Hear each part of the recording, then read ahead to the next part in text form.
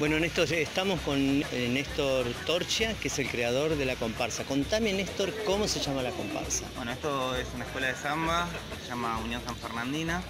Eh, surgió como una idea que durante el año fuimos trabajando.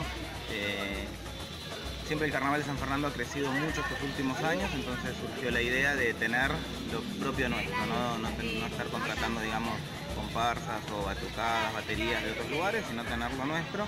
Y así fue que nació Unión San Fernandina a principio del año pasado y durante el año fuimos trabajando, tenemos un taller con más de 30 personas, donde todo lo que van a ver se hizo con mano de obra local, y con artesanos locales y todo acá en San Fernando.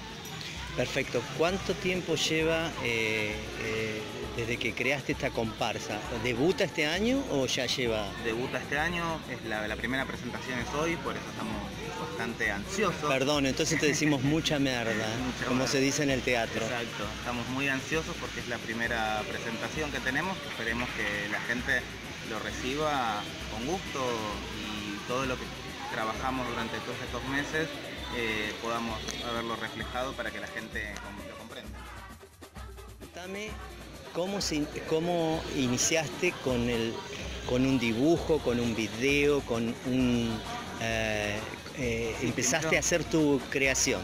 Primero nos planteamos la temática, la temática fue Imperio Delta, San Fernando es, tenemos un delta que es reconocido mundialmente, es único en el mundo por su forma que es un delta creciente Así que partimos de ahí, de esa fue la base, y le pusimos una leyenda, la leyenda del indio Quirimbatá, eh, en donde eh, a partir de él contamos toda desde la creación del delta, cómo se fue creando, pasando por su flora, su fauna, los primeros inmigrantes, hasta llegar al delta de hoy, por eso el título es Imperio Delta, el gran imperio es lo que queremos mostrar. Perfecto, pero además decime cuántas escuadras tiene la comparsa. Tiene 17 escuadras, una comisión de frente, cuatro carrozas, eh, tiene 6 destaques, 242 eh, integrantes en total, son 50 de la batería preguntar algo que te pregunté antes, que aparte, porque una comparsa tiene que tener música, ¿no es cierto? Además, ¿qué otro eh, creativos y, creadores eh, tenés? Una coreógrafa, que es eh, Corina Serrano, ella se encargó de todo lo que es las distintas coreografías, tenemos distintas salas con coreografías, con ballet, como son las mariposas, los canguyam, que los van a ver, tenemos niños, tenemos abuelos, tenemos adultos, tratamos de que sea una comparsa integradora también.